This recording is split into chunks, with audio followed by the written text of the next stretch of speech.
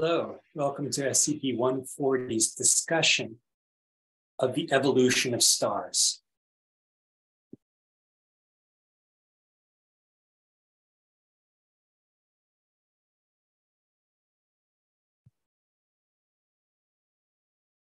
We're going to start with chapter 17 in the text and move forward through all the chapters that discuss how stars change over the course of time. Now, when you look at stars in the sky, you're looking at a brief snapshot in their lives. Even the stars that live the least amount of time will survive for millions of years, which is extremely long in human comparison. But there are some stars which are as old as our universe, 13.7 billion years, and aren't even beginning their lives. How do we know all this? How do we know how stars are changing over the course of their lives? Well, what we do is we take pictures of all the stars. In much the same way you might take pictures of a huge group of people and see a young person, an old person, middle aged people, and so forth, and make judgments about what a human life might look like. We're doing the same with stars. So here's a picture of some stars. We've got red stars, blue stars, bright stars, dimmer stars.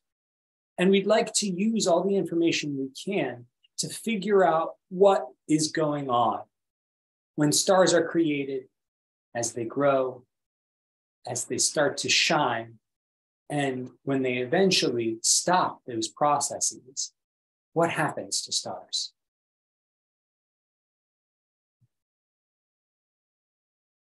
The first thing to understand is that we need methods to figure out what the properties of stars are. We already know how to measure the temperature of stars. We know how to measure how much light they're giving off if we can figure out how far away stars are. One thing we would like to know about stars is how much actual material is in them. What is their mass? It also would be nice to know what their physical size was. It may seem in pictures like this that there are stars that are bigger than others, but what we're really looking at here are brighter and dimmer stars. When you take a picture of the sky, a bright object will appear to be larger than a dim object. But in this situation, essentially all of the points of light that are in this picture are the same size, indistinguishable from a single point. To figure out how big the object is, you have to use some clever logic, understanding, and calculations. But this is possible to do if you know how far away the star is, how much light it's giving off, and what processes are causing that light to be created, you can then work out what the physical size of the star might have to be. One thing we can look at when we examine stars is the spectra that comes from them. And the spectra that come from stars are different colors of light that we can see at different intensity levels, depending on whether there's a lot more red light or a lot more blue light. So you can see we have a number of different stars labeled by what we call spectral type, starting at spectral type O and going down to spectral type M. And we can see a variation in red light and blue light in all of these. But we can also see that there are some lines, features in these stars that show up at different temperatures and different colors. These lines are associated with atoms in the chromospheres of these stars. And these atoms are all present, but it's only at particular temperatures that they become dominant in the spectrum. For the sort of medium hot stars, the A stars, some of the B stars, and some of the F stars, you can see some very dark absorption features. These are the hydrogen the Balmer lines of hydrogen. It was, in fact, these lines, which were what allowed the great astronomer Celia Payne-Gaposchkin to figure out that stars had to be composed mostly of hydrogen. And indeed, we now know that the universe is essentially 90% hydrogen by number. Working out all of these things have allowed us to understand stars in a way that wasn't possible when we first started our observations. We've now worked out what the sizes of various stars are and have discovered some objects that are so small that they can't really shine the same way that stars shine. Remember that stars shine by nuclear fusion that happens in their cores. Well, there are some objects that are smaller than stars, but shine through the heat of formation. As you form the object, it heats up, and that heat allows the object to shine. But eventually, that heat will dissipate and it will stop shining. Some of these objects also have some small component of what we call deuterium fusion. This is a type of fusion that can happen in objects before they become stars at a slightly lower temperature. And these objects we call brown dwarfs. Brown because they're sort of reddish and dull in color, not very bright. And dwarfs because they're quite small. Whether you call these things a star or not is sort of a, an argument in definitions. Most people would say that a star needs to have hydrogen fusion happening at some point in its life to be properly known as a star. Brown dwarfs don't have that feature, so perhaps they aren't stars. But then the question becomes what differentiates a brown dwarf from a planet? Well, some people say it's the deuterium fusion that's happening in certain brown dwarfs. Others say it's not so clear, that there might just be a gradation from stars through brown dwarfs down to planets. Well, in any case, we're showing a lot of these different objects in this image. And it's an interesting topic to learn about cutting edge science, things that are being done with the new James Webb Space Telescope. And some of the most interesting things to learn about currently in astrophysics. There are a number of astronomers studying this subject carefully, and many brown dwarfs are extremely close to us. There's far more of them than there are stars, and they show up as objects that are close to our own sun compared to the stars, which are a little bit further away. Some other things we might observe about stars include the kinds and intensity of the spectral lines that we see from them. Here are two different kinds of stars, a blue giant and a white dwarf, which have the same temperature, but you can notice very different features in their spectrum. The white dwarf have extremely deep and broad spectral lines, while the blue giant have very narrow ones. This is due to the movement of the atoms in the atmosphere of these stars. In the white dwarf, the atoms are moving very fast. And that means that we see a wide range of possible absorption features. That's the broadness of the absorption lines. Whereas in a blue giant's atmosphere, the atoms are not moving nearly as quickly. And so we see those lines in very particular, precise, and specific wavelengths. Another thing we can examine about the spectra of stars is whether the lines are in the wavelengths we expect them to be according to the observations we might have of them here on Earth, stationary in the lab. Sometimes we see the lines red shifted, which is indicating that the star, or at least the atoms that we're observing, are moving away from us. Sometimes we see those lines blue shifted, which means the opposite. The atoms are moving towards us.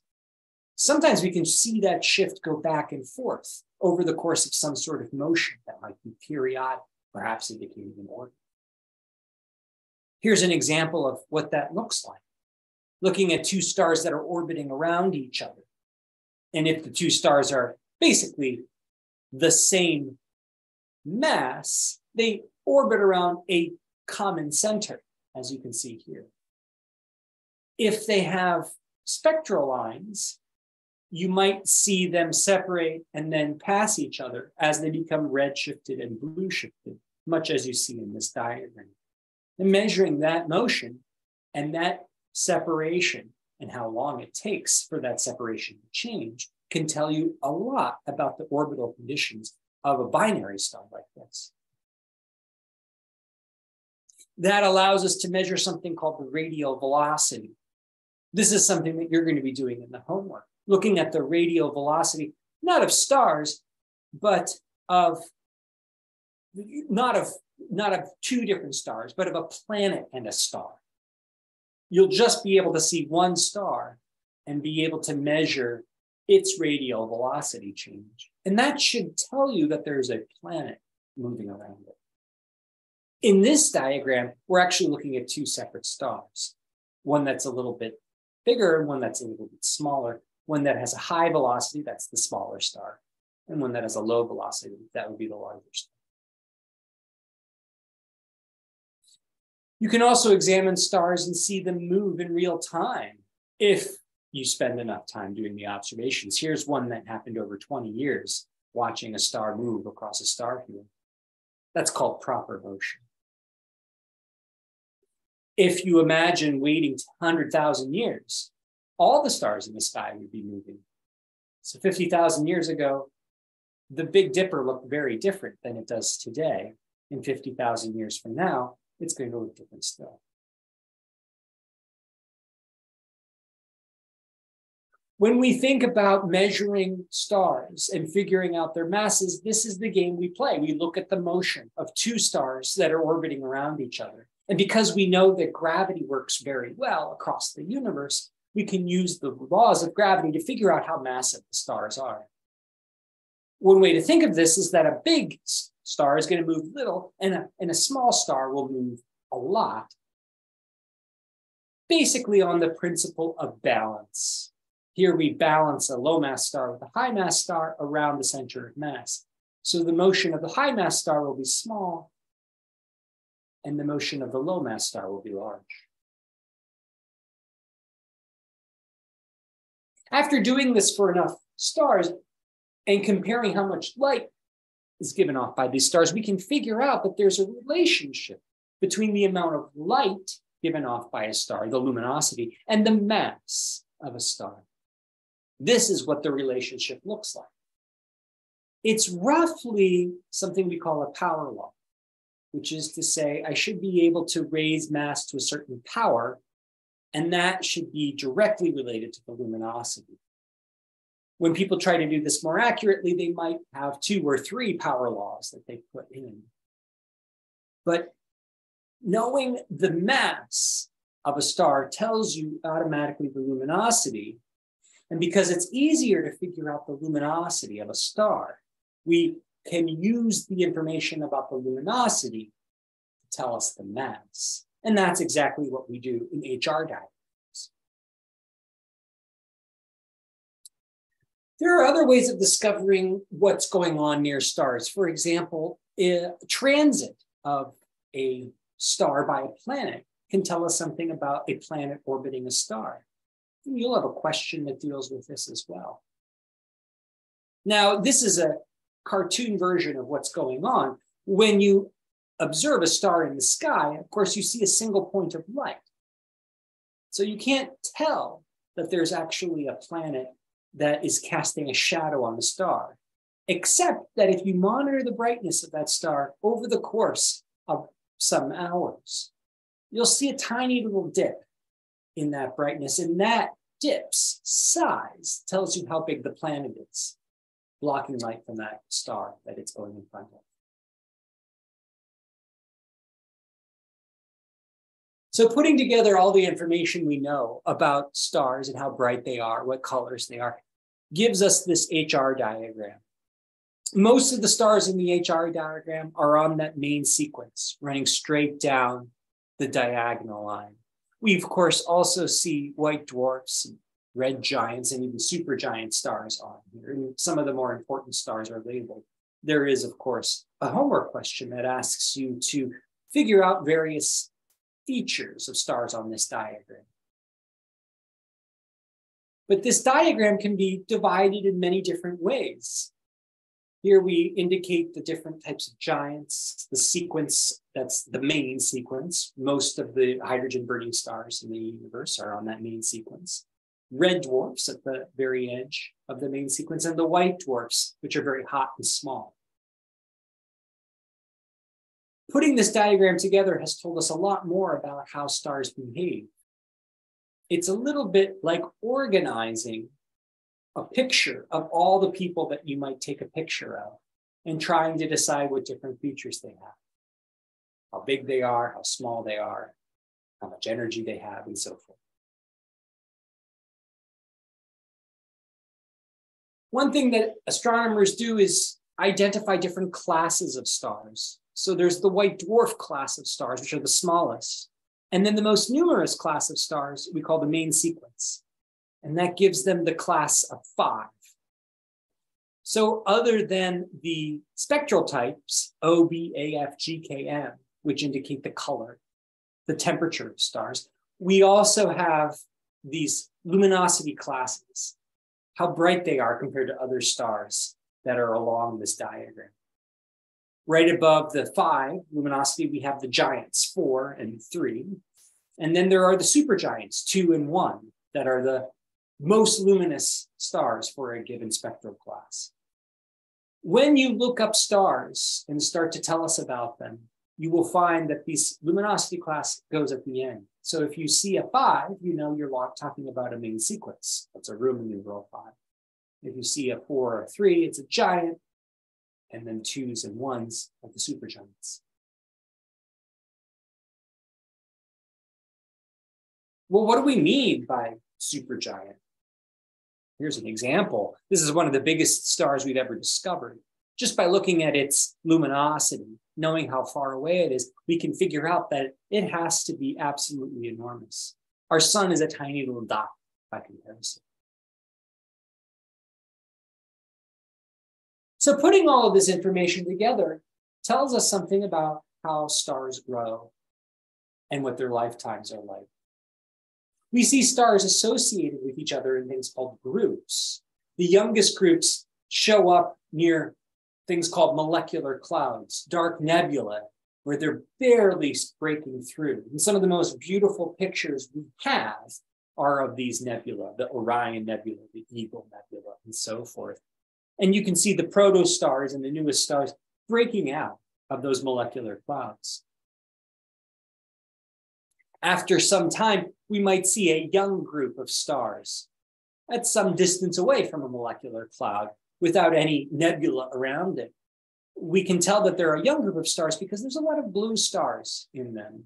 The blue stars don't live very long. Maybe they live only 10 million, 100 million years. And so if we see them in a group, we know that the group itself can't be much older than those blue stars. It's only the oldest groups where we see a predominance of red stars and very few blue stars. In fact, you wouldn't see any blue stars at all in billions of years old groups, except that every once in a while you end up with systems where stars merge together and form bizarre things we call blue stragglers. So there are always a few blue stars in these groups. But for the most part, we see only a certain level of red stars. And the groups become redder and redder and redder the older they are. How do stars form? Well, you might not be surprised to find out they form through the process of gravity. And as a cloud of material collapses and becomes denser and denser at the center, material starts to spin around and heat up. Now, under just the normal circumstances of physics, you might not expect it ever to heat up quite so much so that nuclear fission fusion would happen.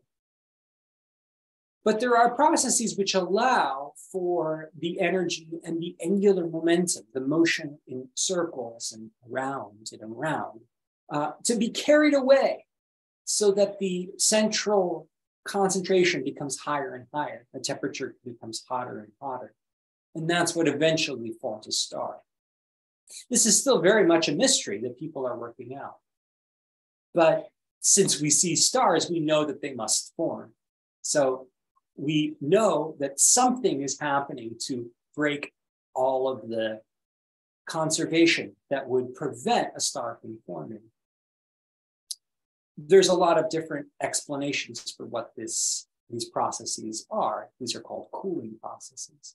But we know that they occur, and we see stars all around us throughout space. So, how does this happen? Well, we can sometimes just follow the tracks of these protostars as they start off until they hit that main sequence on our HR diagram. Here's some examples of those tracks for protostars. They start off very red and also quite bright. They're bright because they're very large. And so even though they aren't giving off a lot of light in comparison to the area that they have, individual slice of the area, because they're so gigantic as protostars, the giant clouds around them, they end up being on whole much more luminous than when you end up with just the concentrated star at the center, even though it's shining more brightly in a given area. We say it's more intense. These are some of the tracks that these protostars travel when they move from just being formed as clouds all the way down to the main sequence. And you can see that they take as few as a few thousand years and as many as a hundred million years to form as stars. Well, what happens when these stars end up using up all the fuel at their center? Then they usually have spectacular deaths. At least they look spectacular. This is a star similar in size to our own sun, where material is being pushed out that was in the outer envelope of a red giant.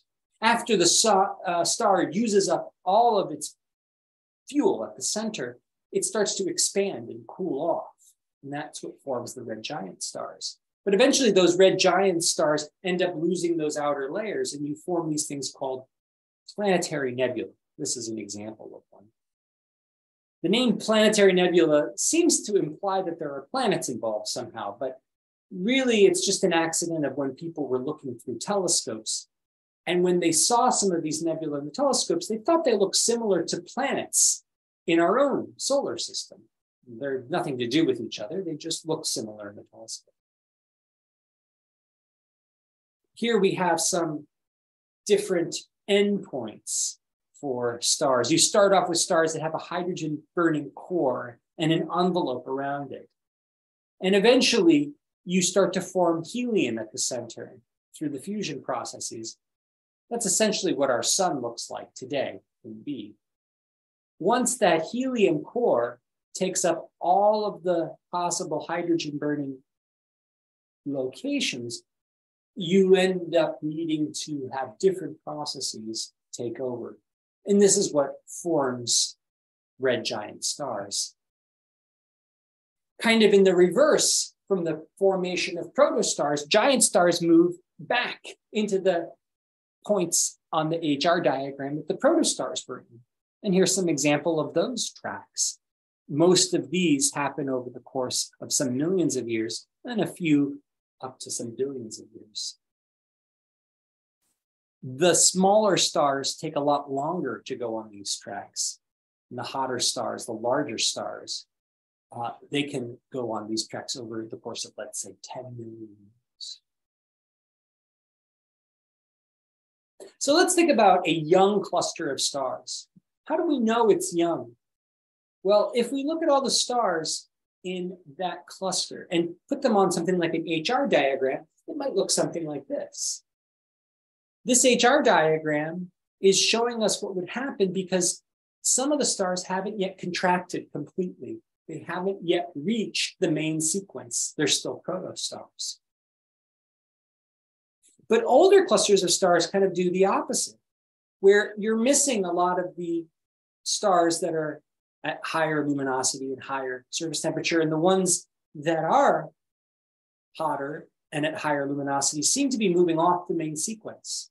It's because those stars have used up all their fuel and they're now transitioning into giants and supergiants. This is what an HR diagram looks like for a very, very old cluster of stars. This is a so-called globular cluster of stars called 47 Tucanae or 47 Tuc for short. That turnoff you see, where the main sequence kind of does a little hook and drag and zip up, that, if it's measured exactly precise, will tell you the age of the cluster because you're missing all the stars that are at higher luminosities. And so that is the precise age where that cluster is. This is the,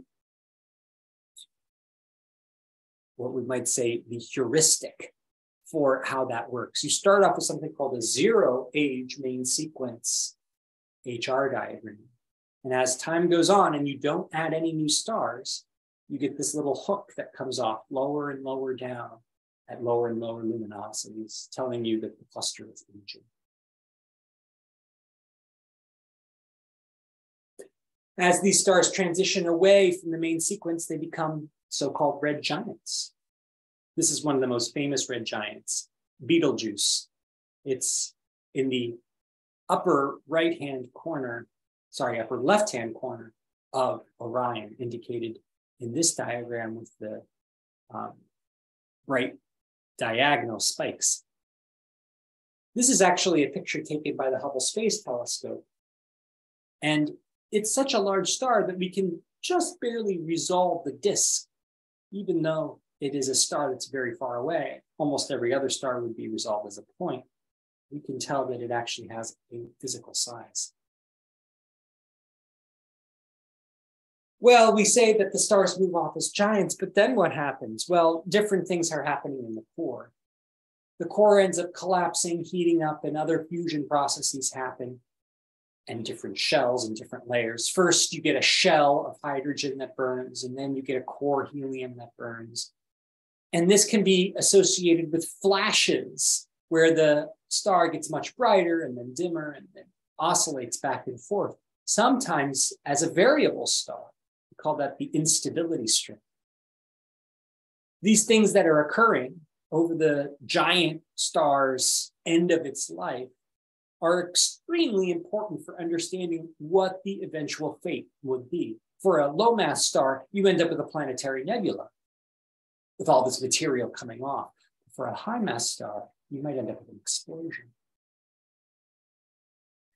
So, this is what a medium sized star may end up like, perhaps one a little bit bigger than our sun. It'll have a core of carbon and oxygen from all the helium fusion that's going on. There might be some helium fusion happening beyond that. There's a helium core where there is no fusion. There's some hydrogen burning beyond that. And then there's a hydrogen envelope around it. Eventually, however, it runs out of steam. And those outer layers are going to end up getting pushed off, and you'll end up with just the carbon oxygen core. That will collapse down to something about the size of the Earth. That's what becomes a white dwarf star. This is what a white dwarf looks like. Well, it's two different views. In A, we're seeing a normal star we call Sirius A. It's a roughly an A star next to a white dwarf star, Sirius B, which is this tiny little dot in the lower left. That same orientation is shown in B. However, you can see that the Sirius B star is much brighter than the A star in indication B. That's because we're looking at these objects in X-rays. White dwarfs shine really brightly in X-rays. They're very, very hot in comparison to the other stars that are out there. So here we have this tiny little star which seems very dim in optical light, but very bright in X-rays. That's a white dwarf. This is how you get a white dwarf. You end up in the end of your giant phase and you form this planetary nebula. The material goes away and you kind of zip down around from A to B to C, and C is where you end up as a white dwarf. This is the eventual fate of our sun. But what about a much more massive star? Well, these are what the layers of an extremely massive star will look like when carbon and oxygen fusion can end up happening as well.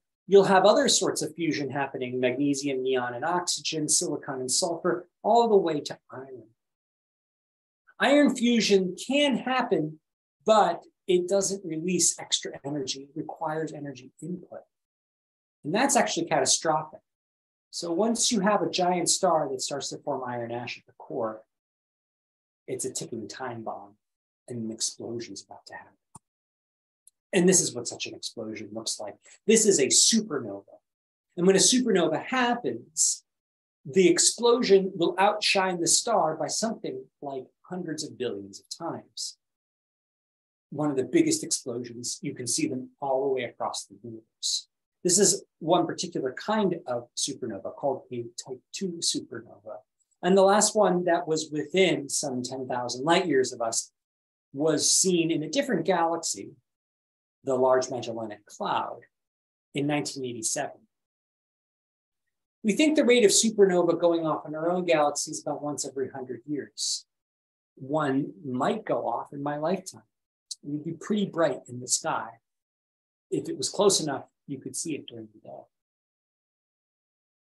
Here's a remnant from a supernova that went off in the year 1006. Now, that's a thousand years we've had for this supernova to cool off. When you take a picture of it today, it's easily visible in the X rays.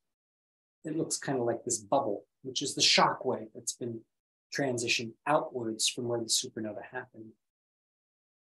What gets left behind are bizarre remnants, not too unlike the white dwarfs we were talking about earlier, but these cores are no longer carbon and oxygen atoms that are sort of stuffed together. What ends up happening is the atoms themselves get crushed down into neutrons. You end up with a star that's, instead of being the size of an Earth, like a white dwarf, with densities that are thousands of times higher than the densities we have here on our planet, this is something that might be more dense by factors of millions and is perhaps the size of a city, 10 kilometers across, spinning mm, sometimes close to the speed of light. We call these things neutron stars.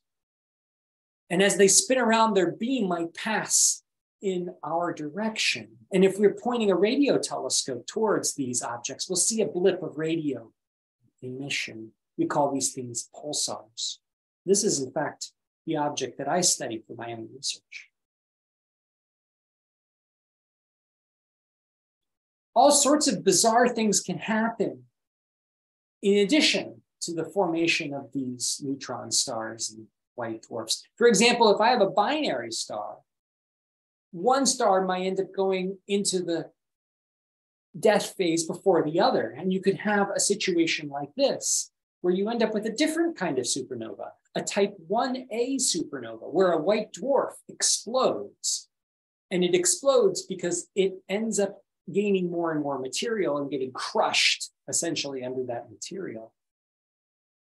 These types of 1A supernova are important because they always shine the same brightness. This has allowed us to measure distances very accurately in our universe, something you should investigate in the chapter, chapter 23. Now, the very largest stars in our galaxy will explode, and the remnants we believe will end up being black holes. And we've identified a number of black holes that seem to be the result of such things. Perhaps the most famous one was in the constellation Cygnus. It's called Cygnus X1. This is an artist's impression of what it looks like next to a large blue giant star. That material is being pulled off and funneled into something called a black hole. We often think of black holes as being objects, but they really aren't. There's no surface to a black hole per se. There's something called an event horizon. Objects can fall into that event horizon, and once they do, there is no escape. Not even light can get out. That's the definition of a black hole. You have a homework problem that asks you to calculate some things about black holes. We've also seen evidence of black holes through things called gravitational waves.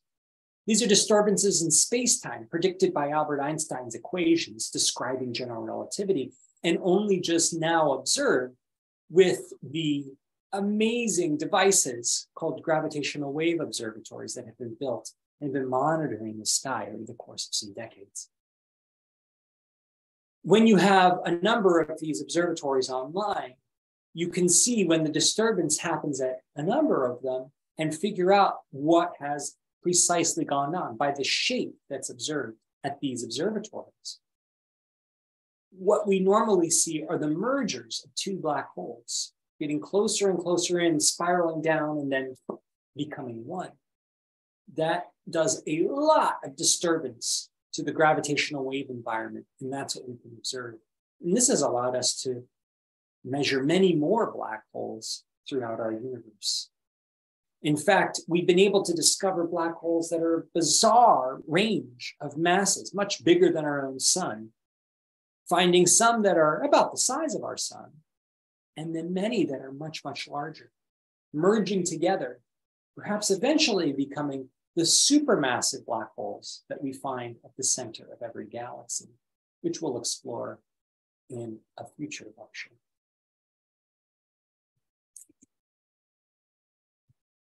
So that's what I wanted to share with you today about our exploration of stars and the end of their lives. I hope you enjoyed that exploration. Stay tuned for two more lectures, one on galaxies and one on the cosmology of the universe, which is to say, looking at the universe as a whole, where it came from, where it's going, what it's made out of, and some of the deeper questions about the existence of reality itself. Thanks very much. Your